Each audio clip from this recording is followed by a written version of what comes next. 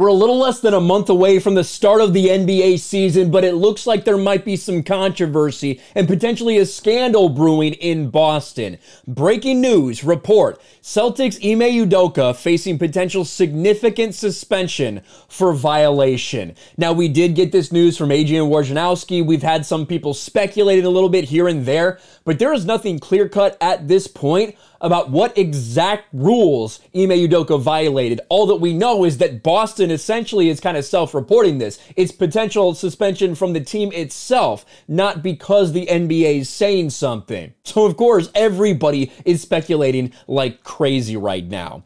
Boston Celtics head coach Ime Udoka is facing a potential disciplinary action, which includes a quote significant suspension for an unspecified, uh, unspecified violation of organizational guidelines per Adrian Wojnarowski.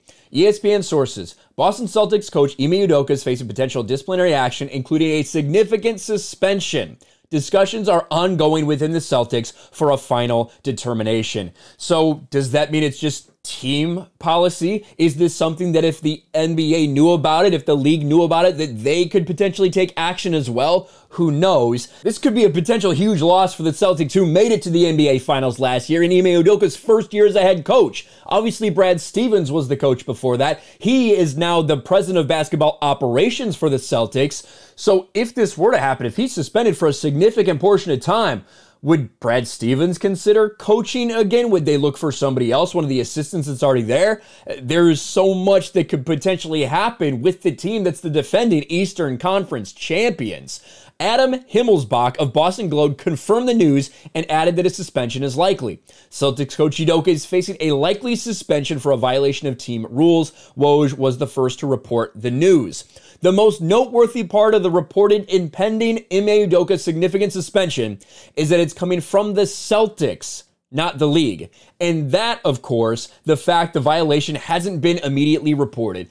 Now, when stuff like this happens, everybody's going to jump to personal stuff within the personal life. Is there stuff going on whether you're talking about scandal, whether you're talking about infidelity, whether you're talking about uh, harassment, stuff, things like that? That's what everybody's going to jump to. Nobody has any idea right now. Uh, I do know that you're going to see things come out that You're going to see, the, I already see the race card being played on social media right now, which is so in, insane to even fathom the fact that we know nothing about what's going on, but that has already been thrown out there by some people. Either way, it will have a massive impact on a very good team last year. Hoping to have a very good team this year in the Boston Celtics. Let me know what you think about this in the comments below. We'll try to keep you updated as this story develops. Smash a like button, subscribe to the channel, ring the bell for notifications, share this video out there, and I'll talk to you later.